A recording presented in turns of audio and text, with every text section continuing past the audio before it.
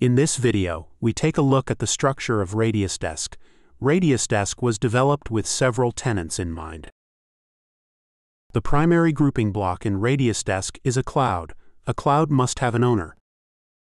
The owner of a cloud can optionally assign administrators for a cloud. These administrators can have one of two possible roles. They can be assigned either administrator rights or view rights for a cloud. Adding an admin user is a two-step process. First, you create an admin user with a password if you are logged in to RADIUSdesk as superuser root.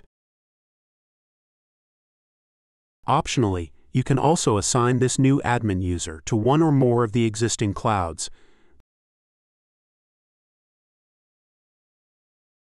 Then log out of RADIUSdesk as superuser root and log in as the newly created admin user.